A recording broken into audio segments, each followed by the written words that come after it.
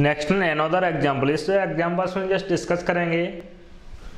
Combination of static variable as well as non static variables just मैंने discuss किया था static variables are created at the time of loading process plus किसी भी class को only one time load करना possible इसलिए static variable का allocation भी कितनी बार पॉसिबल था? ओनली वन टाइम ठीक है नॉन स्टैटिक वेरिएबल्स की बात करें नॉन स्टैटिक वेरिएबल के लिए मेमोरी एलोकेशन कब परफॉर्म होता है at the time of object creation process और किसी भी क्लास के मल्टीपल ऑब्जेक्ट्स क्रिएट करना पॉसिबल है। इस केस में अगर आप मल्टीपल ऑब्जेक्ट्स क्रिएट करोगे देन उस केस में नॉन स्टैटिक वेरिएबल का एलोकेशन भी कितनी बार कराया था? रिसेंट एग्जाम्पल्स में शो भी किया था हमने practically with respect to each object static variable का सभी ऑब्जेक्ट के रिस्पेक्ट में सिंगल कॉपी क्रिएट हो जबकि नॉन स्टैटिक वेरिएबल का सभी ऑब्जेक्ट के रिस्पेक्ट में सेपरेट कॉपी क्रिएट होता है। इससे स्टैटिक का सिंगल कॉपी सभी ऑब्जेक्ट्स के थ्रू शेयर होगा। लाइक बिल्डिंग कंस्ट्रक्शन प्रोसेस किसी भी टाउनशिप में मीस अगर आप मल्टीपल मल्टीज क्रिएट करते हो तो मल्टीपल मल्टी के अंदर फ्लैट्स कैसे होंगे? सेपरेट फॉर ईच फैमिली लेकिन सभी फैमिलीज़ के रिस्पेक्ट में अगर गार्डन या पार्किंग की बात करें तो गार्डन और पार्किंग किस टाइप का प्रोसेस होगा? कॉमन प्रोसेस जैसे किसी भी बिल्डिंग के अंदर अगर फ्लैट्स की बात करें तो फ्लैट सभी फैमिली के बाद सेपरेट होते हैं, लेकिन सभी फैमिली के लिए लिफ्ट की बात करें तो लिफ्ट सभी फैमिली के लिए सेपरेट होगा, सिंगल कॉपी शेयर होगा। लिफ्ट सभी के लिए कॉमनली शेयर होता है। Same as static variable means common for all objects clear static variable को एक्सेस करने के अप्रोच कितने हैं? Using class name using reference pointing object और reference pointing null uninitialized reference variables के थ्रू कभी भी स्टैटिक वेरिएबल को एक्सेस करना पॉसिबल नहीं था। एंड फाइनल इस प्रोसेस को कंप्लीट कर दें देन इस केस में मैंने देखा जाए तो थ्री टाइप्स के वेरिएबल्स क्रिएट किए हैं। जैसे एक्स की बात करें तो स्टैटिक वेरिएबल एक्स का टाइप क्या है? Static x static s sorry x static variable है। इसलिए एक्स किस प्लेस पर क्रिएट कराएँगे? इनसाइड डेटा एरिया और heap area inside data area इस अपर पार्ट को आप कंसिडर करोगे as data area next one y की बात करें वाई का टाइप नॉन स्टैटिक है। नॉन स्टैटिक वेरिएबल कहाँ क्रिएट होते हैं? ऑलवेज इनसाइड हीप तो सेकंड सेशन में प्रोवाइड करना है हीप प्लस इसके साथ साथ इस प्रोग्राम के अंदर लोकल वेरिएबल्स भी क्रिएट हुए हैं, जैसे एस वन और s two local variable s one और एस टू के रिस्पेक्ट में एस वन एस टू का एलोकेशन किस प्लेस पर होगा? Always inside stack area this is stack memory stack heap और डेटा एरिया सारे के सारे केस क्या हैं? Logical partition of RAM or we can say it is a part of eighth segment of data segment और eighth segment of residence memory. Means मैंने इस concept को डिटेल्स में डिस्कस किया है basic concept of C language और beginning process of C in that case सबसे पहले क्लास के रिस्पेक्ट में परफॉर्म क्या होगा लोडिंग जैसे ही क्लास लोड होगा तो सबसे पहले इनिशियल प्रोसेस में मेमोरी एलोकेशन किसके लिए परफॉर्म हो रहा है? Local static variable x x का टाइप क्या है? स्टैटिक इसलिए एक्स कहाँ क्रिएट हुआ inside data area immediately loading के जस्ट बाद memory allocation perform to the variable x next one with initial value s one current case में कोई कॉम्प्लिकेशन होने की जस्ट एक्सेस केस हो गया नेक्स्ट केस में कॉम्प्लिकेटेड प्रोग्राम क्रिएट करेंगे related to same concept second case, उसके बाद वाई के लिए अभी कोई एलोकेशन परफॉर्म हुआ है क्या? नहीं वाई के लिए एलोकेशन कब होगा जब क्लास का ऑब्जेक्ट क्रिएट होगा नेक्स्ट सेकेंड प्रोसेस में परफॉर्म क्या होगा execution of main method plus इससे रिलेटेड जितने भी आउटपुट्स होंगे सारे के सारे मैं आउटपुट डिस्प्ले कराऊँगा on the output device monitor in that case main के रिस्पेक्ट में, जैसे एग्जीक्यूशन कंट्रोल मैन फ़ंक्शन के बॉडी पार्ट में एंटर होगा देन इमीडिएटली परफॉर्म करेंगे memory allocation for local variable S one S two S one S two local variables इसलिए create करेंगे inside stack area next one stack area में S one S two के लिए allocation कराने के बाद new keyword के अकॉर्डिंग कितने स्टेप्स फॉलो करने की नीड होगी? इसके इसमें total three steps first step allocating memory space for non static variable इस क्लास में टोटल नॉन स्टैटिक वेरिएबल्स कितने हैं? Only one which is Y तो जब भी सैंपल क्लास का ऑब्जेक्ट क्रिएट हो तो मेमोरी किसके लिए एलोकेट होगा? Only for Y not for X क्योंकि एक्स ऑलरेडी क्रिएट हो चुका है। हीप मेमोरी में क्रिएट क्या करेंगे? Object of point class address something hundred then इस केस में मेमोरी किसके लिए एलोकेट हुआ है? वेरिएबल एक्स के लिए।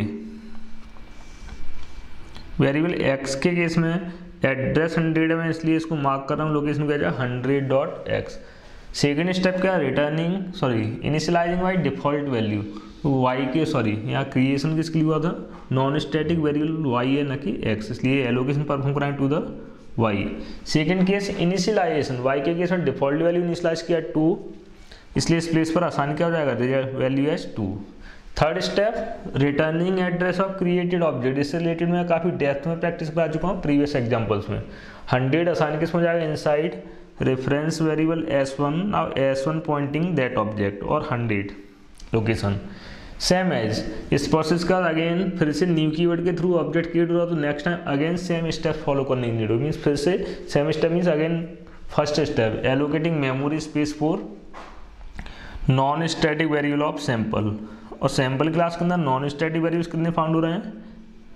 Only one which is Y इसलिए एलोकेशन भी किसके लिए हुआ? वाई के लिए।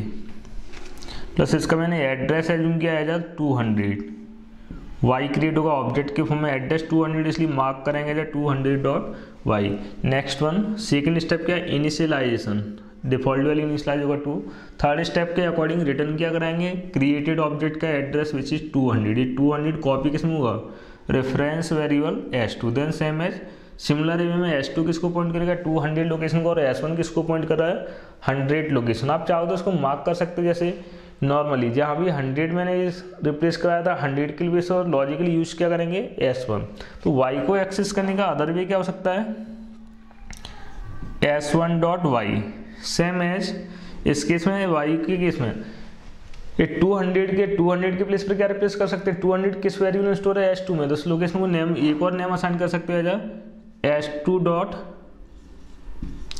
Y clear similarly अगर स्टैटिक वेरिएबल के रिस्पेक्ट में बात करें फ़र्स्ट में स्टैटिक वेरिएबल डायरेक्टली भी एक्सेस हो सकता है और अदर वे क्या है इसको एक्सेस करने के? यूजिंग क्लास नेम जैसे क्लास का नेम क्या सैंपल तो स्पेस को आप लॉजिकली कंसीडर कर सकते हो as sample dot X same है। इस क्लास के टू रेफरेंस क्रिएट किए एस वन और एस टू सेम लोकेशन को कंसीडर कर सकते हो as S one dot X और S two dot X means finally अगर जब किसी ऑब्जेक्ट के टू रेफरेंस होते हैं तो उस ऑब्जेक्ट को एक्सेस करने के अप्रोच कितने होते हैं आपके पास? टू थ्री रेफरेंस होने के इसमें थ्री जैसे इस हंड्रेड ऑब्जेक्ट के केस में सिंगल रेफरेंस फाउंड हो रहा है एस वन तो इसलिए इस वाई को एक्सेस करने का ओनली एक ही approach using S one same as second object के केस में इस ऑब्जेक्ट का रेफरेंस रेफरेंस कितने क्रिएट हुए इसके लिए? ओनली वन एस टू इस ऑब्जेक्ट के डेटा में वाई को एक्सेस करने के अप्रोच कितने? Only one using S two लेकिन अगर एक्स के रिगार्डिंग बात करें एक्स एक्स अपने आप में क्या है? स्टैटिक वैल्यू स्टैटिक वैल्यू सभी ऑब्जेक्ट के लिए शेयर होगा। इसे इस ऑब्जेक्ट के लिए भी शेयर होगा, इस ऑब्जेक्ट के लिए शेयर होगा। इसे एक्स के टोटल कितने कॉपी क्रिएट हुए? इस प्रोसेस में ओनली वन कॉपी और एक्स को एक्सेस करने के कितने डायरेक्टली भी एक्सेस कर सकते हैं।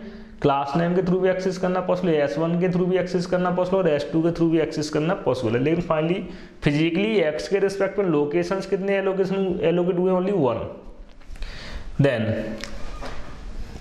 fifth case में परफॉर्म किया हुआ system dot out dot print value of X question है कि यहाँ एक्स नॉन स्टैटिक वेरिएबल था सॉरी स्टैटिक वेरिएबल है। एस वन अगर यूज़ कर तो एस वन का मीनिंग क्या है? मीन्स एक्स किस क्लास में सर्च होगा, उस क्लास में सर्च होगा, जो एस वन को मीन्स जिसका टाइप या जो एस वन टाइप है। और एस वन का टाइप क्या है? इस केस में चेक कर सकते हो सैंपल इसलिए इनडायरेक्टली एक्स किस क्लास के बॉडी पार्ट में सर्च हो रहा है? Sample class because S one का टाइप क्या था? सैंपल अगर एस वन का टाइप पॉइंट होता तो एक्स का डेफिनेशन किस क्लास में सर्च होता? पॉइंट क्लास में. एस वन का टाइप अगर डेमो होता देन एक्स किस प्लेस पर सर्च होता? इन साइड डेमो क्लास तो फाइनली जब सैंपल क्लास के अंदर एक्स सर्च होगा as a static data member available है, और एक्स का वैल्यू क्या है? वन इसलिए फाइनली स्प्रिंटेलन के अंदर रिप्लेस क्या हो जाएगा? वन डिस्प्ले भी क्या होगा message S one same way in next case. तो सेकेंड केस में अगेन क्या डिस्प्ले करा? एस वन डॉट वाई यहाँ एस वन के प्लेस पर आप रिप्लेस कराओगे एस वन में स्टोर किया हंड्रेड या टाइप चेक करने की ज़रूरत नहीं है लोकेशन के बेसिस पर एक्सेस करेंगे इसे वाई किस लोकेशन से आएगा? फ्रॉम हंड्रेड लोकेशन और हंड्रेड लोकेशन में वाई का वैल्यू क्या? टू नेक्स्ट टाइम क्या प्रिंट होगा? To seventh case S two dot X again S two के रिस्पेक्ट में एस टू का टाइप कंसिडर करोगे। और एस टू का टाइप भी क्या है? सैंपल इसलिए इस केस में भी एक्स का डिक्लेरेशन और डेफिनेशन कहाँ सर्च होगा सैंपल क्लास में। Sample class means class level class level के अंदर एक्स का वैल्यू क्या है? अगेन वन तो फिर से क्या डिस्प्ले हो जाएगा? वन लेकिन एस टू डॉट वाई के केस में क्या आएगा? एस टू के प्लेस पर क्या आएगा? Hundred hundred dot Y sorry S two में टू हंड्रेड है। टू हंड्रेड डॉट वाई और two hundred dot Y location में क्या स्टोर है? टू अगेन क्या आएगा?